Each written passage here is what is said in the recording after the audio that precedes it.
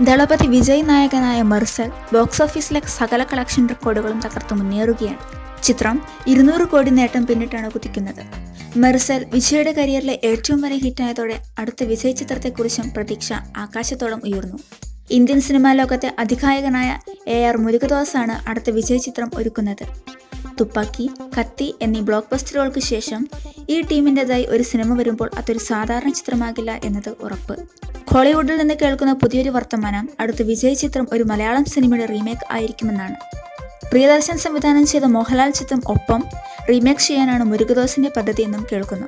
ഇതനുസരിച്ചാണെങ്കിൽ അടുത്ത സിനിമയിൽ വിജയ് കഥാപാത്രം അന്ധനായിരിക്കും.